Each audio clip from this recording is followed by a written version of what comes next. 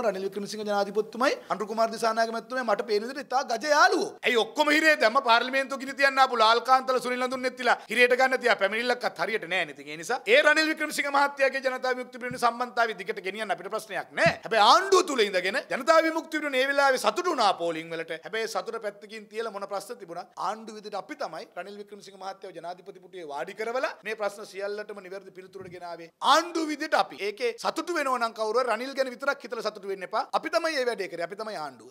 ඊළඟ ලස්සන කතාව අනුර කුමාර දිසානායක කියනවා ජනාධිපති මන්දිර සියල්ලම සංචාරක ආයතන බවට පරිවර්තනය කරනවා බලන්නකෝ මේ පිරිසෙන හැටි. පළවෙනි එක තමයි දැන් කියේ. දිනපු ගමන් දිනුවොත් එකත් හදා ගන්නවා දිනුවොත් ගිහිල්ලා ඉන්න ඉස්සෙල්ලම කොළඹ ජනාධිපති මන්දිරේ. දෙවෙනි වොයිස් කට් එක මොකද්ද මේ ඊළඟට එන්න හදන්නේ? රාජතාන්ත්‍රික සම්බන්ධතා නුවර පෙරහැර බැලීම සඳහා විදේශිකයන් ආවම මම නැවත කොළඹට එන්න වෙනවා ඉක්මනින් ඒ නිසා මම කොළඹ ඉඳලම විදේශිකයන් හමු වෙන ස්ථානයේ හෝටල් වල බෑ. ඒ නිසා මට නුවර ජනාධිපති මන්දිරෙත් ඕන වෙනවා. මම නුවරේ ලියනකොට ඒකත් ඕන වෙනවා. යාපනයට යනකොට මට ඒකත් ඕන වෙනවා. ඕක කියන්න තමයි මේ හදන්නේ. ඒ නිසා මේ කියන කතා නැහැ. ඉස්සර නාමල් රාජපක්ෂගේ ඔච්චෙක් ගැන කතා කරා. නාමල් රාජපක්ෂ බෙල්ට් එක ගැන කතා කරා. නාමල් රාජපක්ෂගේ සපත්තු දෙක ගැන කතා කරා. නාමල් රාජපක්ෂගේ ටී-ෂර්ට් එක කමිසය ගැන කතා කරා. රත්තරන් අස්සිය ගැන කතා කරා. අද බලන්නකෝ අනුරු කුමාර දිසානායක මම පෞද්ගලිකව කියන්න දාන සපත්තු දෙක අඳින කලිසම අඳින බෙල්ට් එක අද බඳින වොච් එක අද යන වාහනේ බලන්නකෝ. මේක තමයි ඇත්ත දේශපාලනේ. බොරු කරන්න එපා.